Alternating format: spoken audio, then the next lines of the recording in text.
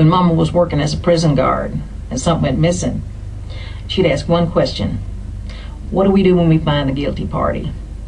And if they said, Come down on them with that swift hammer of justice, innocent. A clear conscience don't need no mercy. But if they said, Officer Bessie, well, they may have had a reason, blah, blah, blah, blah. Well, nine times out of ten, that's the anus they check.